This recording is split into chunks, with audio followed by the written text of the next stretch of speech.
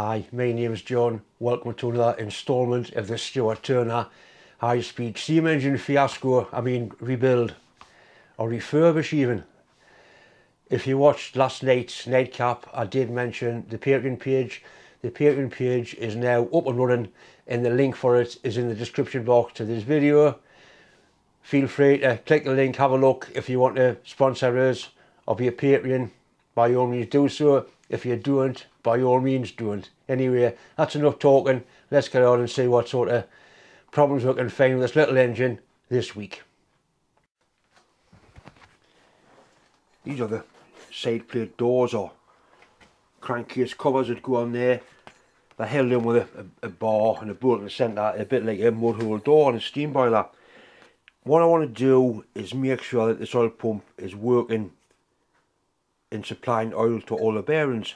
So I'm going to make a couple of gaskets for this. In fact, I'm going to make two joints for these. So I can put some oil in there and I'll probably end up getting a big electric drill just to spin the crank up and I want to see the oil come out of the big end journal before I go any further. Uh, I'm not paranoid about oil but I want to make sure it is right so I'm going to cut two joints out of this piece of paper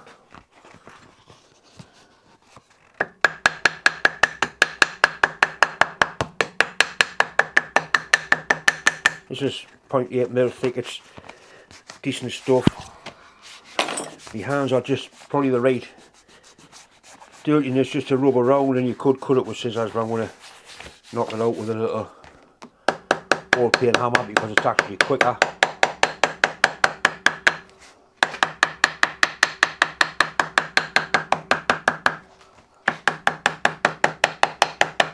just using the sharp corner of the the part to get a, a perfectly cut joint.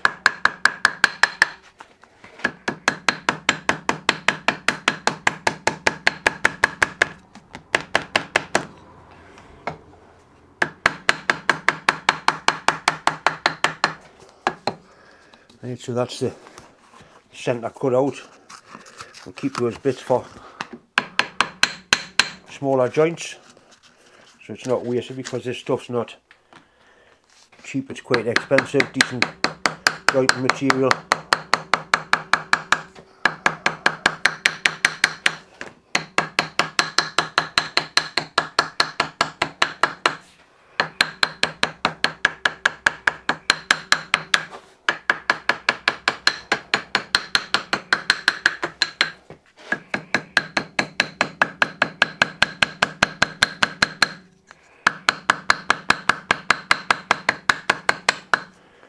Right, that's it. One nicely formed joint. I think that should be thick enough to seal that because it is a nice flat face on the engine cylinder block. It's got the Stuart logo on there. These are nice castings these.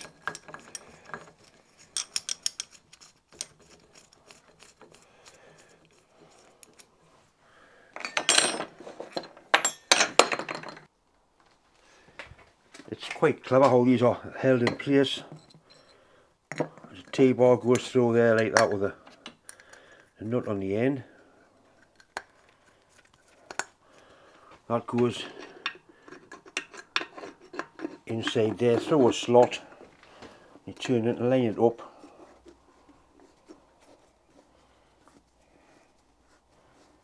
And you simply tighten that up with it lined up in the centre and that's it secured into place. We get a spanner that fits that.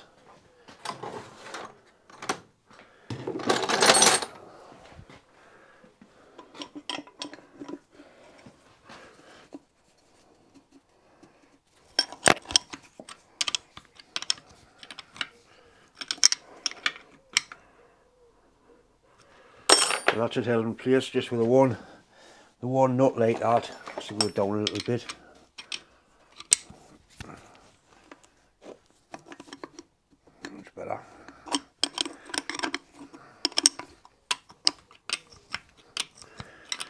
This will stop the oil from spewing everywhere.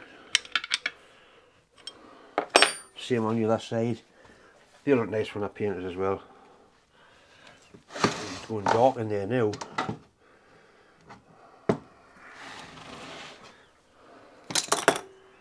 There's the one I made earlier.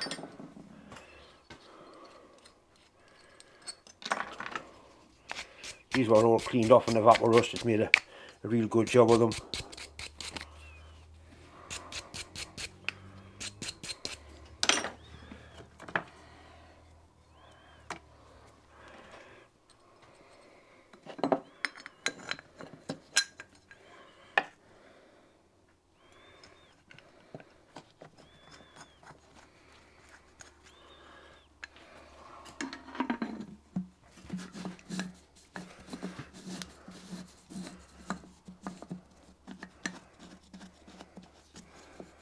Really simple but very effective idea.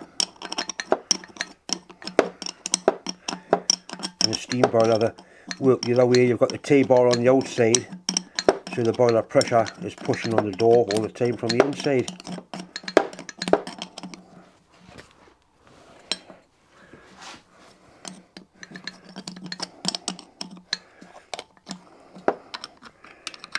This one's putting a lot more stud through the other I don't know why.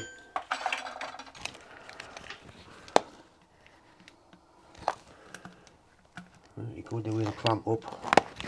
But that's going to stop the oil from spraying everywhere. When we do come to try the oil pump again. I like it. In the last video we proved that the oil pump worked I've removed the cross shafts and the little oil pump drive cam. I'm going to put some oil in the engine and I'm going to pump the pump by hand just to make sure that oil is flowing through the crankshaft and coming out the big end journal I've got a little bit of car engine oil here I'm sure I'll do the job. Just enough to cover that oil pickup pipe which is there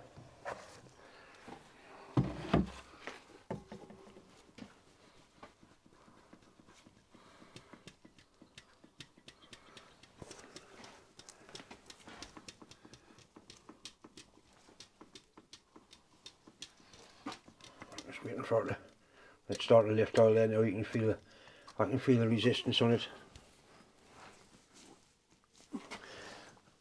and the oil's running down through the, the side glass there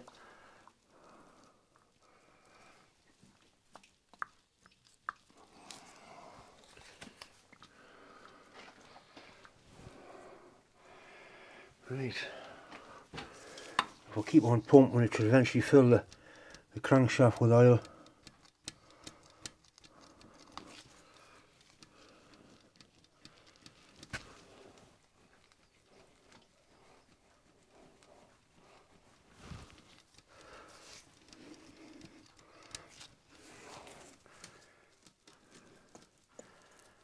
I think it's got an air bubble in it.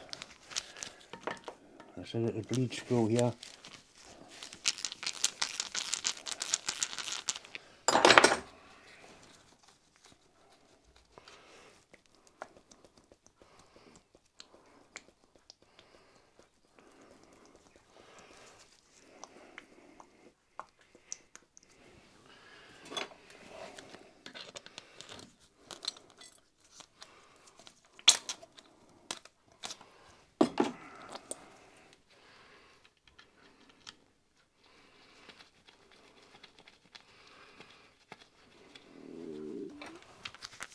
I've got oil everywhere again.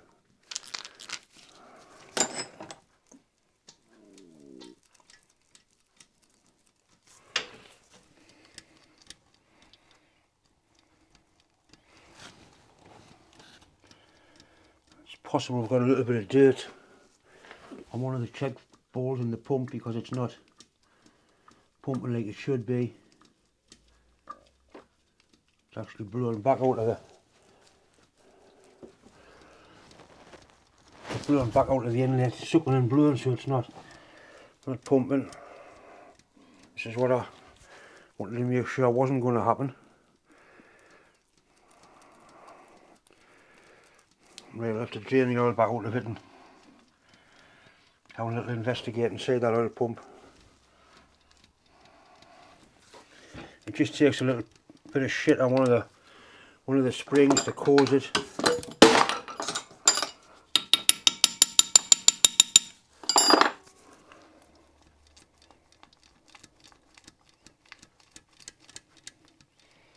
It certainly isn't pumping like it's supposed to.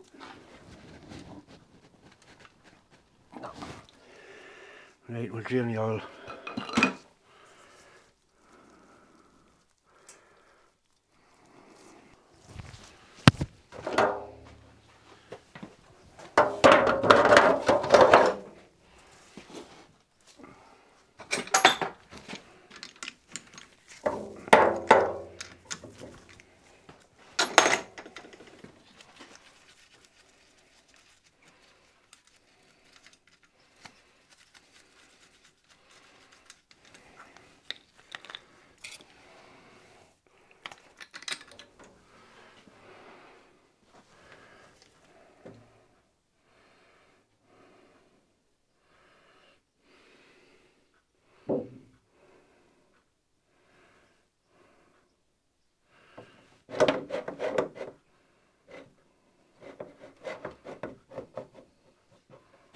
Oh, you bastard, you.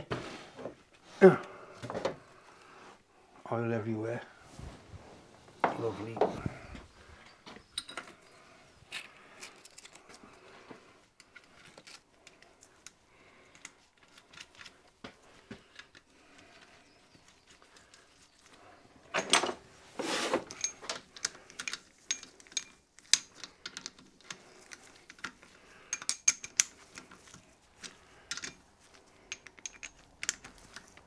Right.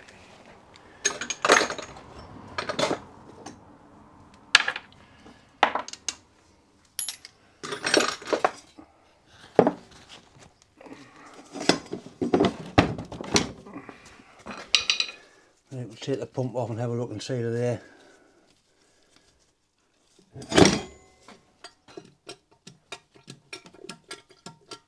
It's definitely bypassing the one of the check valves. It's working properly.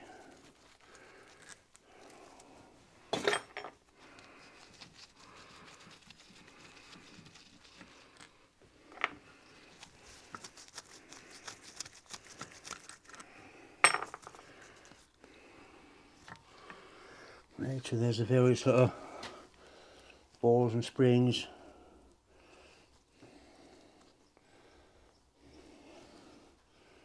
It just takes one little particle of crap to spoil the whole job. That's nice that bronze spring, lovely. I take this pipe off, take the leaf valve off and wash it all out with brake cleaner. Make sure all the little ports are clean.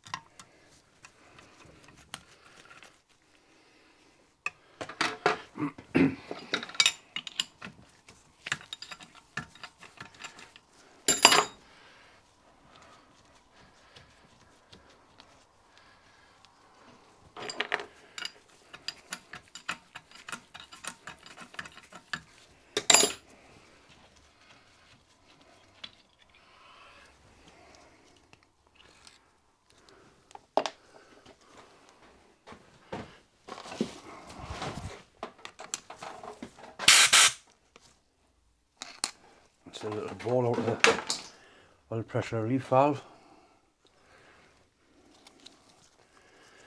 Right.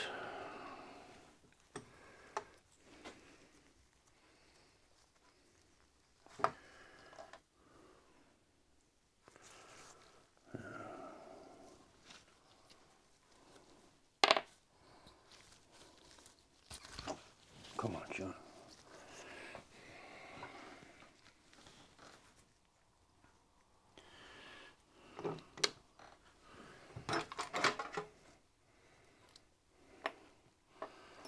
Oh, it all looks clean in here, but it will not, it not take very much to stop it all working.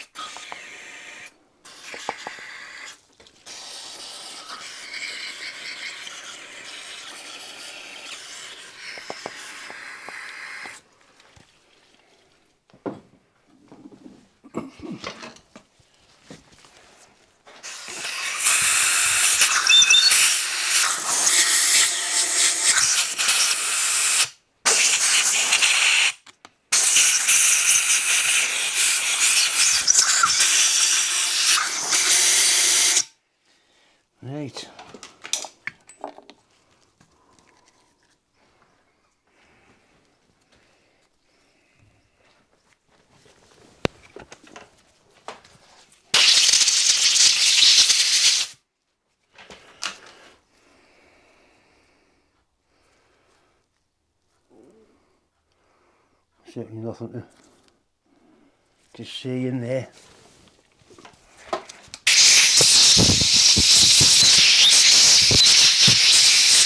The seats look good. Made sure I had a big spring in there. The balls are all the same size. Ah, right, we've got an issue here. That that bit of pitting on that ball, that's all it would take to stop the pump working. I didn't notice that when I um, put it back together. Right, so need some new balls. That's good. I mean, at least I found a reason why it was was blowing back. If that little bit of damage there was on the seat, it would just bypass it, and that would cause all the problems. I don't think I've got any balls. Well, I've got lots of balls, Lee, I suppose. Well, as much as I've got enough balls to do the job, but I haven't got any steel balls that size. I'm sure I'll be able to find some at work from an old bearing. I've got some smaller ones, but I've got none that size. Hi, my name is John. Welcome to another instalment of the Stuart Turner high speed steam engine fiasco, I mean rebuild or refurbish even. If you watched last night's nightcap, I did mention the Patreon page. The Patreon page is now up and running and the link for it is in the description box to this video. Feel free to click the link, have a look if you want to sponsor us or be a Patreon, by all means do so. If you don't, by all means don't. Anyway, that's enough talking. Let's get on and see what sort of problems we can find with this little engine this week.